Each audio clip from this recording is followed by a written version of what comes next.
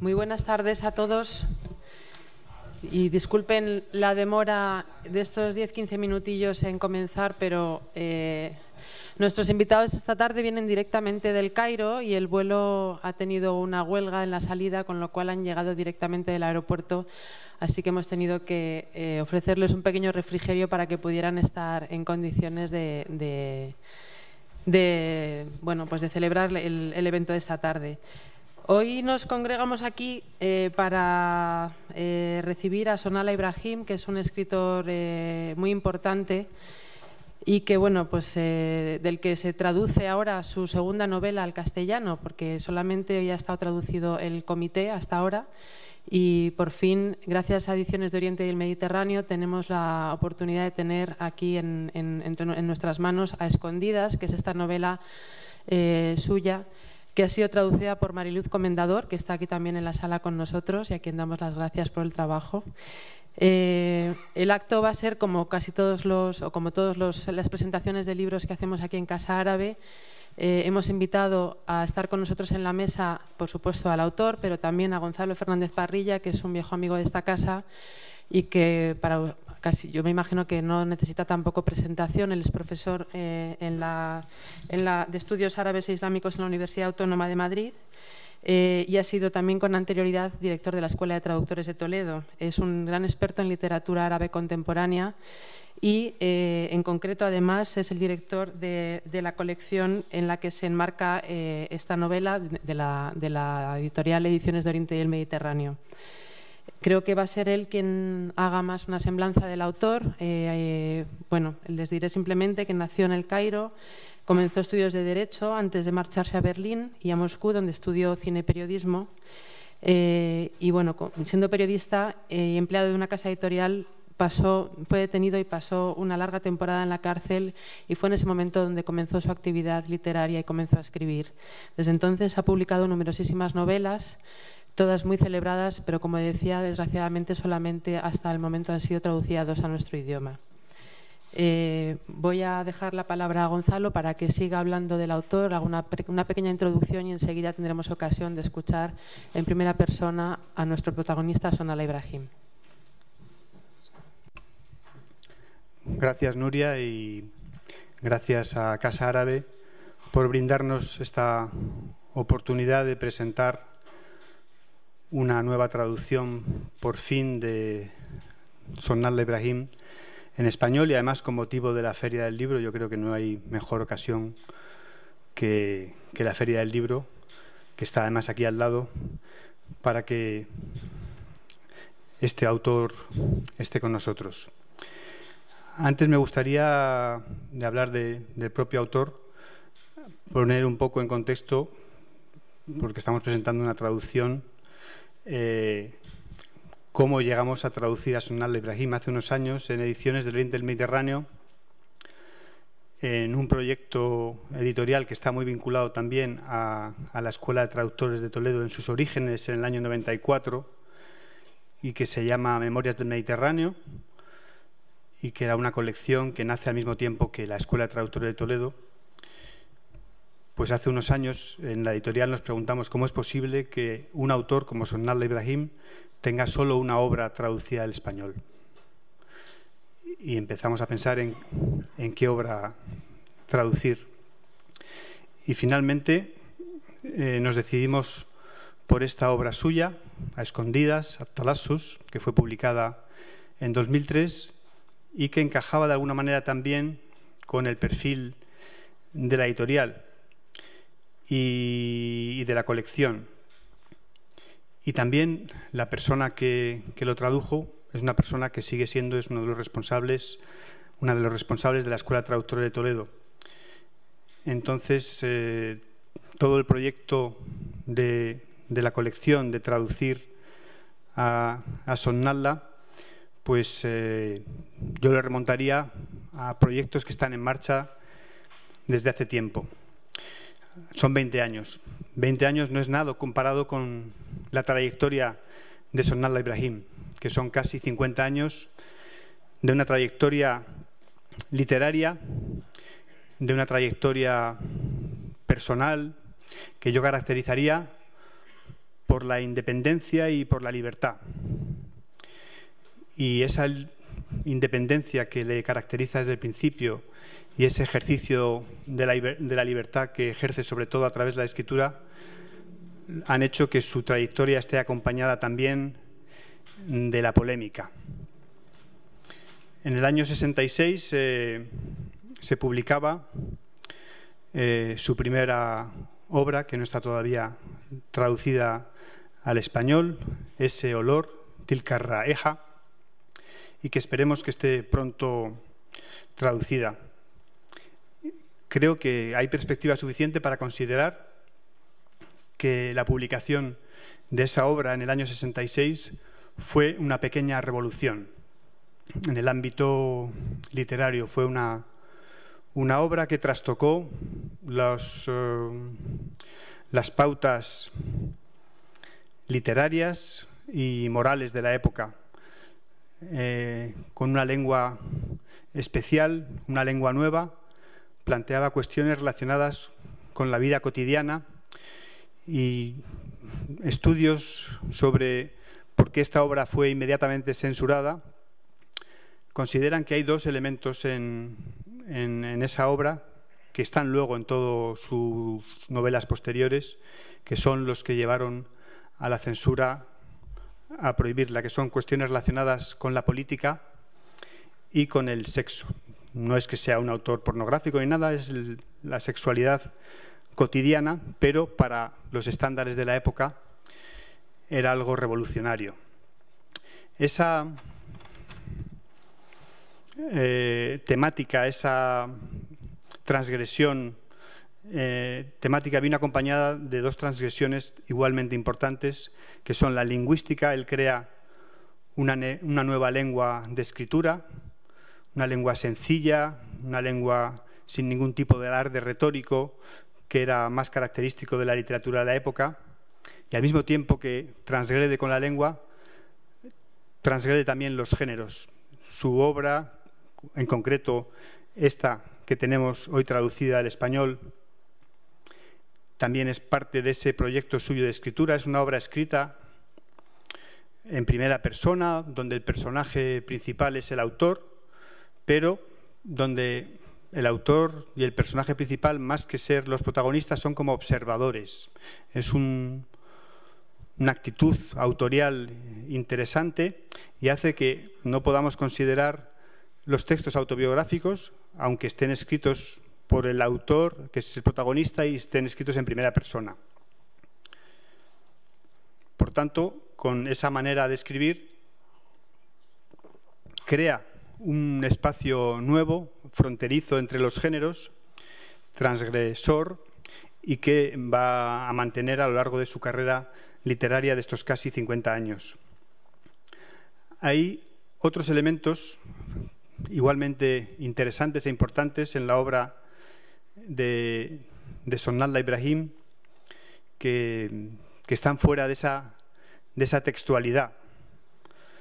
Es un autor que también eh, trasciende sus textos desde sus primeras mm, experiencias, como decía Nuria, en, en, la cárcel antes de ser escritor, hasta eh, sonados eh, eh, participaciones eh, en la escena pública como eh, rechazar públicamente un premio nacional o su militancia en movimientos de resistencia ciudadana como que falla o, sin ir más lejos, esta misma semana era uno de los primeros que ocupaba en el Ministerio de Cultura, liderando un grupo de escritores y artistas en, protesta por la política eh, general eh, del, Gobierno y más concretamente por la política cultural de un ministro cuyas polémicas eh, son todavía más agudas que las de nuestro ministro de Educación. La textualidad de, de Sonal Ibrahim está vinculada a su país, Egipto, está vinculada a su lengua, el árabe, pero yo diría que todo eso es anecdótico, porque eh, es un autor que pese a que en español no está muy traducido, en otras lenguas como el francés yo creo que hay una decena de libros traducidos, en inglés prácticamente lo mismo y en otras lenguas menos importantes también hay más obras traducidas que al español. Su condición de escritor universal yo creo que radica en la fuerza de, de su escritura. Y además radica en que es un autor que a pesar de ser de haberse nutrido de Egipto y de literatura árabe, se ha nutrido sobre todo de literatura. Desde el principio eh, se deja ver en su obra que es un gran lector de literatura universal y eso yo creo que ha contribuido a hacer de él un escritor a la altura de estos tiempos. Eh, decía Carlos Fuentes que la mayor contribución de un novelista es crear eh, más realidad, nueva realidad a través de la imaginación. Y yo creo que esa es eh, la aportación fundamental de Sonal Ibrahim, haber creado más realidad que la que nos ofrece la propia realidad y la historia con su magnífica literatura. Y además de realidad, eh, es una literatura que nos hace más ricos y que nos hace ver, gracias a su humor, el, eh, mundo con una distancia y con una ironía que en estos tiempos es más necesaria que nunca. Eh, sin más, pues me gustaría decir que considero que normalmente una traducción es un milagro y que cuando la traducción es del árabe al español, pues es un milagro mayor y que esta traducción es magnífica, como no podía ser menos, está a la altura de otra magnífica obra. Bienvenido Sonnalla a España y al español una vez más y tiene la palabra.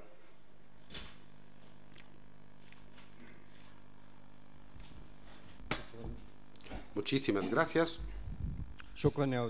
Muchísimas gracias, señor Gonzalo. Es difícil que yo exprese mi felicidad por este encuentro.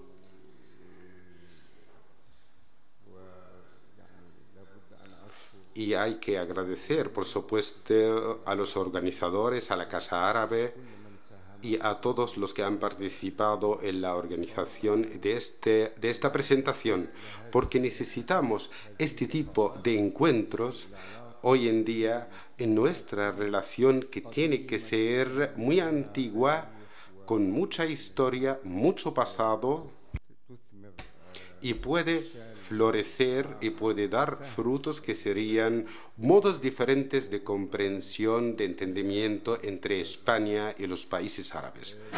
Y la verdad es que después de la palabra, de la introducción de don Gonzalo, creo que lo dijo todo, pero lo que me gustaría añadir en este sentido es un detalle, detalle relacionado con la naturaleza de esta novela que está traducida, está entre nuestras manos ahora a escondidas. Y es porque creo que leí, no me acuerdo bien, no sé si era un comentario sobre la traducción o un comentario sobre la traducción francesa, algo así. Es decir, que, que se ha utilizado la frase que es una novela autobiográfica. Es decir, que es una representación de la historia de la persona, del autor. Es una acusación, no, no es una acusación, es, una, es un diagnóstico muy rápido, eh, a mi juicio personal, y lo he escuchado bastante sobre otras obras mías, y la verdad es que sencillamente podría decir que, que yo escribo y expreso espero mis sentimientos en un momento determinado, en una experiencia determinada y mezclo todos los factores que existen en la realidad. Y uno de estos factores, por supuesto, es, es la relación que yo tengo como autor con el tema y como persona, porque no puedo descartarme. En el pasado, los escritores europeos eh, eh, hacían algo muy simpático, muy anecdótico.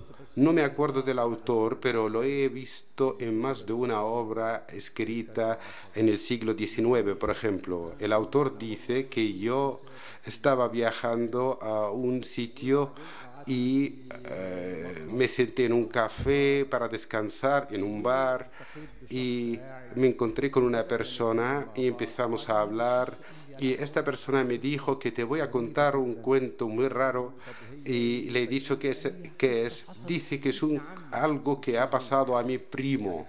Es decir, que cada uno de ellos está atribuyendo la novela, el cuento a una persona y habla de su primo y que su primo lo ha escuchado a, a un tercero. Y allá empieza la novela que podría tener ciertos detalles el autor contemporáneo no necesita realmente todo este ruedo eh, eh, para llegar a contar o para llegar a su tema. Eh, resumidamente, todo lo que ocurre en la vida del autor, delante de él, alrededor de él, es la materia que él podría utilizar o, o utilizar en la formación de su novela, de su escritura. Por tanto, esta novela efectivamente tiene detalles personales, pero no son tan precisos. Es decir, que hay algunos personajes, algunos acontecimientos, eventos que efectivamente eh, algunos están un poco exagerados, otros no, porque todo se ha adaptado a la estructura de la novela, que, es la obra a tener en cuenta, que se está formando y desarrollándose y tiene una obra, normalmente, sus leyes, que se alejan bastante de la, de la autobiografía, porque la autobiografía normalmente también tiene muchas mentiras, pero vamos a suponer que la autobiografía es algo eh, cierto yo empecé eh, a pensar en la escritura en la cárcel. Antes, pues, he intentado, eh, tuve algunas, algunos intentos literarios que todos fueron rotos por mí mismo cuando tenía 17 años o 18 años y he decidido eh, ser profesional de política, trabajar como político, y había una organización comunista eh, eh, clandestina a la cual pertenecí en un momento y creí que esto era el futuro, esto es la vía, la senda para, para realizarme, para autorrealizarme. Y terminé, terminó terminó esta, terminó esta, esta, tentativa con la cárcel, me han encarcelado y allá he descubierto muchas cosas. Había ciertas circunstancias en Egipto, tortura, eh, prohibir los libros, la entrada de libros, periódicos, la radio, todo eso un modo de romper la voluntad de aquellos que están encarcelados, detenidos y eh, había resistencia también y una parte de esta resistencia era trabajar para filtrar eh, periódicos y libros hacia dentro de la cárcel. Y esto se realizaba en la cárcel eh, famosa, que es una cárcel muy lejana en el sur de Egipto, que es la cárcel de los oasis, Al-Wahad.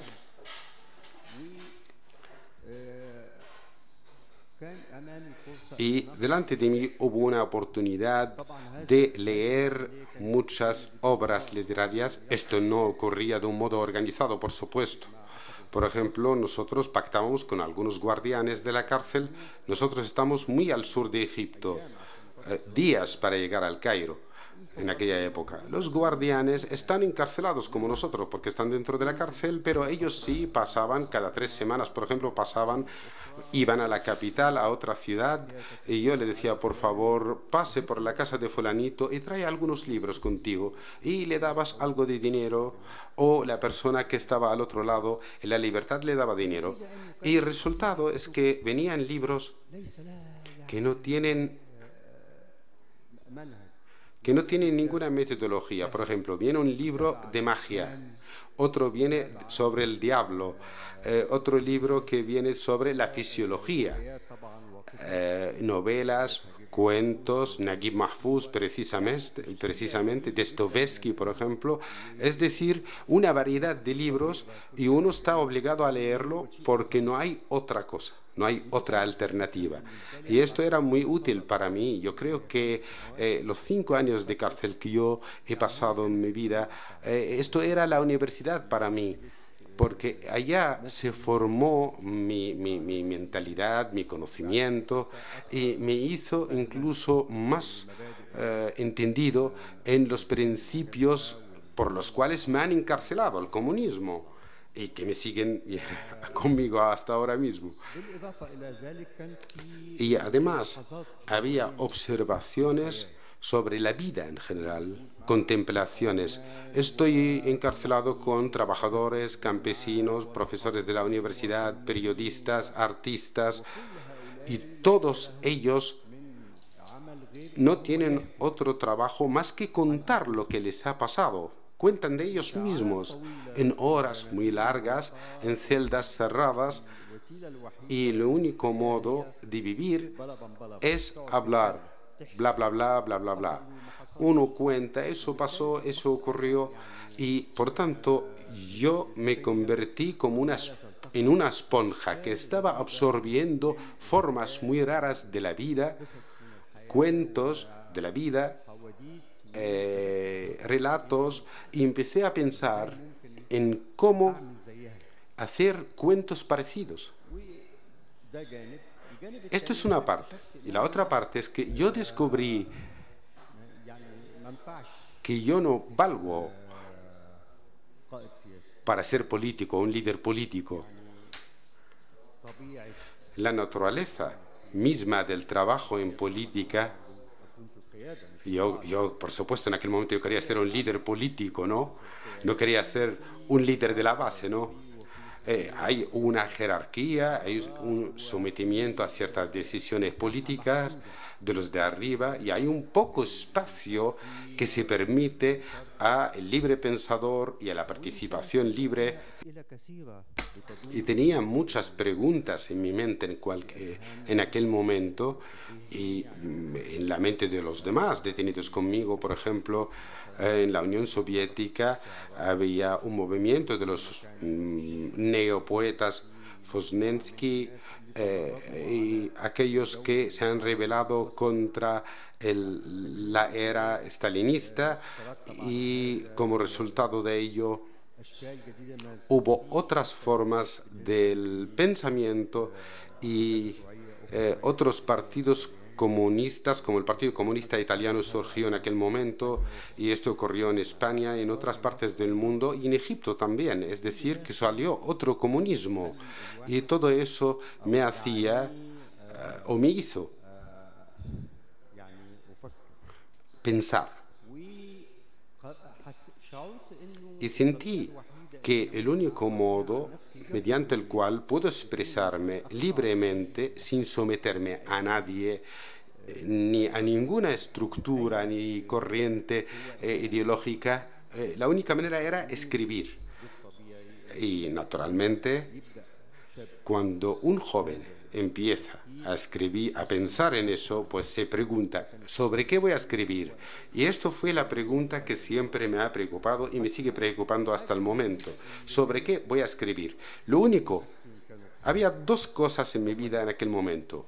Uno, memorias o recuerdos de la infancia que empezaron a despertarse y antes de dormir pues uno recordaba todo lo que no nunca pensó antes ni recordó y la realidad en la cual estaba que es la detención y la crisis política que existía en aquel momento y por la cual hemos estado muchos en la cárcel, porque nosotros como comunistas no éramos, no estábamos en contra de Nasser, o al menos la mayoría de nosotros no estaban en contra de Nasser, pero sí había discusiones sobre las formas de trabajo democrático, etcétera, etcétera.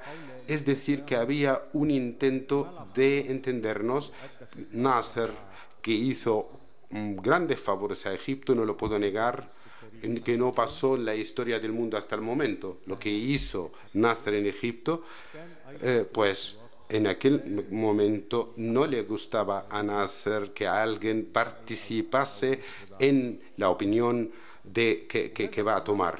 Y esta contradicción es la que nos llevó a, la cárcel. Por tanto, hay dos realidades la realidad representada en las memorias de mi infancia y la postura política que hay en nuestro país Egipto y lo que eh, los resultados como de, todo eso, detención, tortura.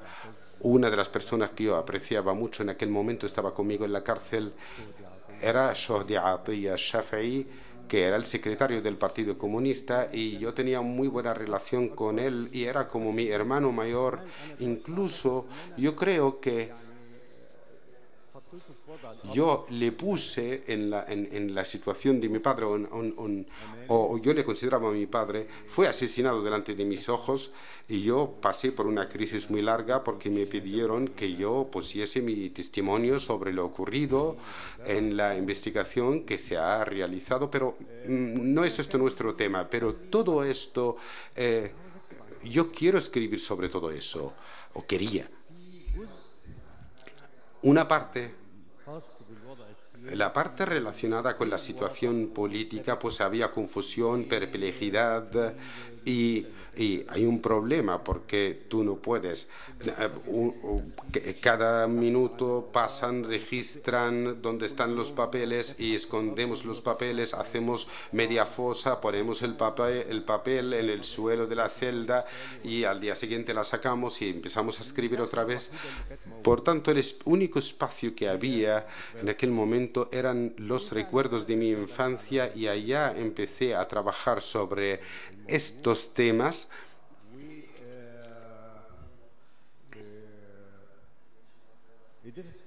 Y pude al final sacar de estos recuerdos algunas situaciones, eventos que yo creí que merecían ser escritos, mencionados, que son eventos diferentes de otros que no tendrían el mismo valor. Y allá eh, hubo una personalidad en todo lo que escribía que era la personalidad del padre. Incluso le llamé Jalil Bey. Y yo mm, daba vueltas y vueltas alrededor de aquel padre, Jalil Bey, y después me paré, porque no podía entender al padre. Para aclarar eso, Jalil Bey había muerto antes de entrar en la cárcel. Yo lo había hecho así. Él era muy mayor, tenía como 60 años cuando yo nací, porque yo soy hijo de otra mujer diferente de la primera. Eh, era una jovencita y de la cual se enamoró el Jalil Bey. Yo era el resultado de este matrimonio. Y después, este tema me ha perseguido desde el año 60 hasta el día en el cual he escrito esta novela eh, que es eh, a escondidas, creo que 30 o 40 años después, pero todo el tiempo yo pensaba en el mismo tema y quería escribir sobre aquel Jalil Bey. No quiero escribir de él de un modo romántico, aquel padre bonito, bello. No, yo quiero más realismo, pero ¿cuál es la llave de su personalidad? Nunca llegué, llegué a una solución eh, antes de haber llegado yo a la misma edad, a los 60 años, cuando a la misma edad para poder entender la edad de los 60 y después, allá pude entender por primera vez y de repente empecé a entender el personaje de Jalil Bey, cuáles eran los factores que le movían, conmovían, cuál era su crisis, cuál era su tortura personal, eh, cuál era su pensamiento, todo eso. Y esto es lo que salió en la novela A Escondidas, que está traducida hoy y la estamos presentando y la ha traducido doña Mariluz, que es esta novela. Por tanto, yo no imagino o no creo que vamos a volver a aquel punto de la autobiografía. No creo que sea una autobiografía. Hay algo de autobiografía, pero es una obra novelística eh, que se basa en la imaginación, incluso la ficción, es decir, entra en la imaginación porque hay eventos, acontecimientos que nunca ocurrieron en la realidad, pero hubiesen podido ocurrir. esto era todo lo que yo quería decir sobre esta novela y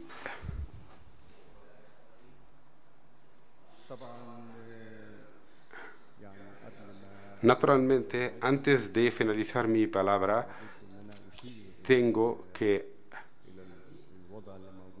hablar de la situación que hay actualmente en Egipto, porque he venido a través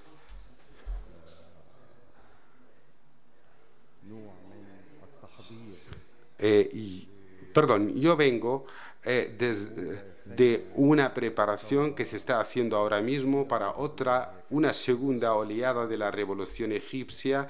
Empezó en el 25 de enero del, de los, del 2012, 11 eh, y hoy estamos preparando en Egipto para generar una segunda, una segunda ola que se va a dar el 30 de junio de este mes. Eh, en el 25 de enero estábamos en contra de Mubarak y no hubo un buen resultado ni mucho éxito para eh, lograr todos los objetivos que teníamos en aquel momento. Todo lo que ha ocurrido es que fue apartar a Mubarak del poder, pero el régimen siguió tal cual y después vinieron los hermanos musulmanes para seguir haciendo la misma política. ¿Qué quiere decir eso? Mantener el mismo régimen quiere decir la misma mentalidad, el mismo modo de trabajo, el eh, la misma postura ante las peticiones, reivindicaciones sociales, la misma relación con Estados Unidos y con Israel. No hay nada nuevo. Todo lo que ocurrió es que hay una capa religiosa que se está poniendo, colocando ahora mismo sobre sus políticas. Y por eso hay un gran rechazo actualmente en Egipto, eh, rechazo a estas políticas, a este, este modo de gobernar y lo que esperamos es que, ¿qué es lo que esperamos? Yo no tengo yo no tengo una claridad como lo que ha pasado el 25 de enero. Eh, me dijeron antes del 25 de enero, mi hija me dijo, hay mañana manifestaciones. he dicho que no, que no, que no. Eh, eh, no se puede hacer una revolución mediante el Facebook, nunca. Y al día siguiente ocurrió y hubo éxito y hubo éxito primero en hacer una movilización el día 25 de enero y después de 18 días pues hemos obligado al régimen a irse, pero hoy está pasando lo mismo. Hay mucha gente que dice, wow, eso no va a ocurrir, no va a ocurrir nada, el 30 de junio no va a pasar nada. Vale, bien, sea lo que sea resultado, creo que el 30 de junio va a iniciar una nueva era y es otro paso sobre el camino elegido por el pueblo para conseguir lograr eh, eh, eh, ciertos principios pan, vida digna y independiente. Y muchísimas gracias a todos ustedes.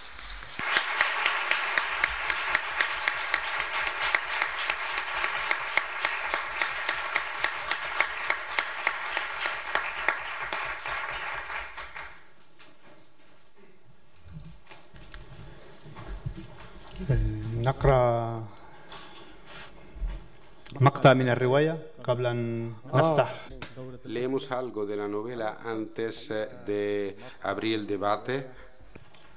واخترت Yo elegí una, un párrafo de la novela porque es muy simpático y tiene un alto grado de humor y es una salida eh, de las reglas eh, tradicionales en la escritura y a mí me gusta esta- este estilo que sale fuera de todo lo, establecido. Eh, Aquí es- está hablando un niño de 10 años o algo más o menos y creo que la imagen que existe en la portada habla o expresa muy bien este niño, que es lo bonito que yo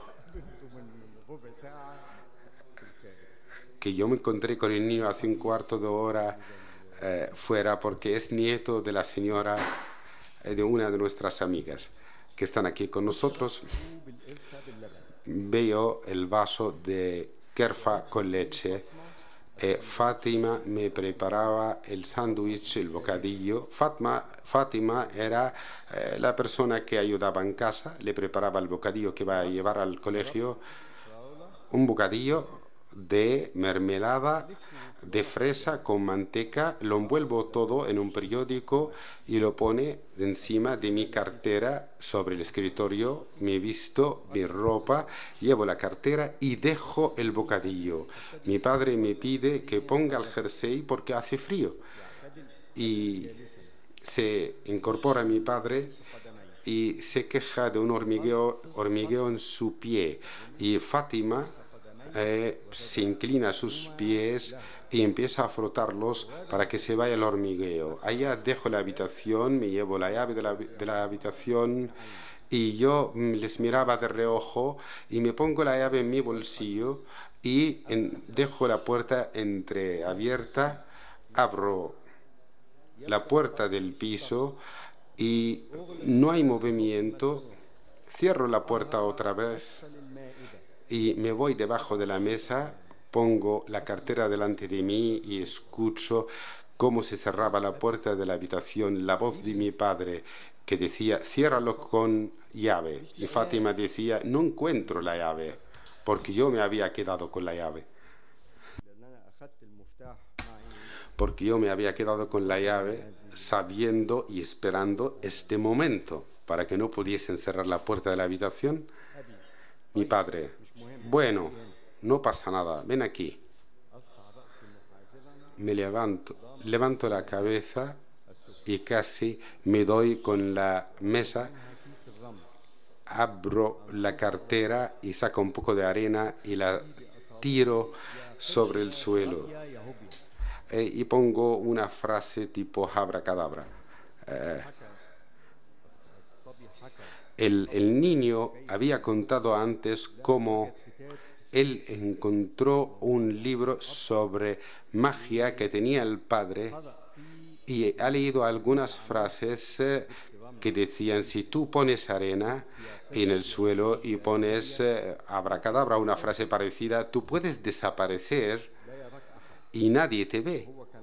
Y el niño quería desaparecer para que así pueda ver qué es lo que, lo que ocurre dentro de la habitación donde está su padre y su madre. Me siento encima de la arena y evito mirar a las cucarachas y menciono y digo, coged sus vistas y sus oídos para que no me vean, no me, escucho, no me escuchen, etcétera, etcétera. Son las mismas frases del libro de magia que yo había leído, que había leído el niño, para que él siga desaparecido.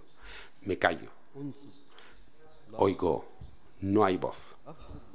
Salgo de abajo de la mesa, dejo la cartera eh, y mi corazón latía muy fuertemente y desde la abertura de la llave de la puerta, intento mirar, no veo nada, intento escuchar, no escuchaba nada, y allá modifico la postura de la montura de las gafas y cojo la manivela, la tuerzo para poder entrar y digo, voy a quedarme desaparecido por la fuerza mágica.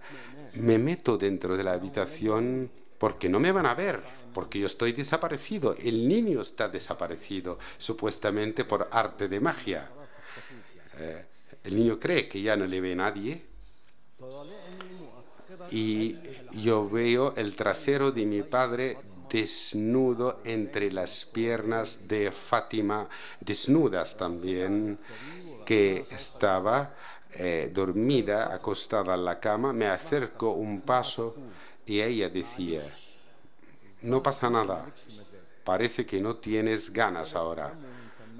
Él acerca su boca a la boca de Fátima, ella aleja su boca, él intentaba besarla y ella estaba sorprendida. Él le dice, abre la boca, cógeme. Ella dice así, él dice sí.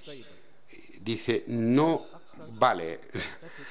Eh, me acerco un poco, me mira y me descubre y me dice, caramba, qué desgracia. Y echa a mi padre a un lado y pone su ropa y se sienta y mi padre me mira y me grita, ¿qué haces aquí?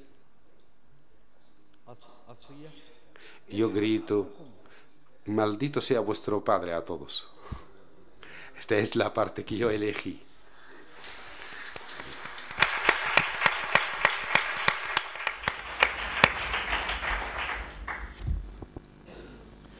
Bueno, no voy a leer tan bien como él,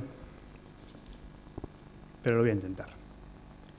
Me bebo la infusión de canela con leche. Fátima me prepara el bocadillo que me voy a tomar. Es de mermelada de fresa con mantequilla. Lo envuelve en un papel de periódico. Lo pone al lado de la cartera, encima del escritorio. Me visto. Cojo mi cartera y dejo el bocadillo. Mi padre me pide que me ponga el jersey porque ha refrescado. Se incorpora. Se queja de que se le han dormido los pies. Fátima se agacha a sus pies para frotárselos. Yo salgo del dormitorio. Quito la llave de la puerta mirándolos de reojo, me la meto en el bolsillo, dejo la puerta entreabierta, abro la de la calle, aguzo el oído, no se mueve nada, el corazón empieza a palpitarme con fuerza. Doy un portazo y corro a esconderme bajo la mesa. Me coloco la cartera delante. Oigo que se cierra la puerta del dormitorio y la voz de mi padre. Cierra con llave. La de Fátima. No la encuentro. Bueno, no pasa nada, ven aquí. Levanto la cabeza con cuidado de no darme con la mesa, abro la cartera y saco una bolsa con arena. La esparzo por el suelo. Escribo encima, oh Karshia, Sharabía y Ahubía. Me siento encima. Me da miedo mirar al nido de las cucarachas. Repito muy bajito, Quítales los ojos y la vista y arroja, oh siervo, estos nombres al mar de las tinieblas para que no puedan verme. Mudos, sordos, ciegos, no pueden ver. Me quedo callado. Escucho. Nada. Salgo de debajo de la mesa con sigilo.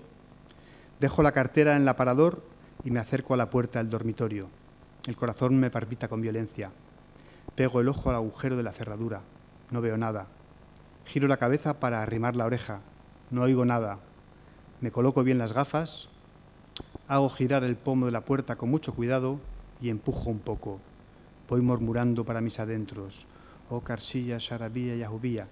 Entro tranquilo porque sé que no me van a ver. Lo primero que me encuentro en el trastero de mi lo primero que me encuentro es el trastero de del trasero de mi padre desnudo, en medio de las piernas de Fátima, también desnudas, levantadas. Ella está tumbada en la cama con la cabeza hundida en la almohada. Doy un paso adelante, la oigo decir, vaya, parece que no tienes ganas. Él acerca su boca a la de ella, ella la aparta, él intenta besarla, parece sorprendida. Abre la boca, dice él. No lo hace. Sujétamela. ¿Así? pregunta ella. Sí.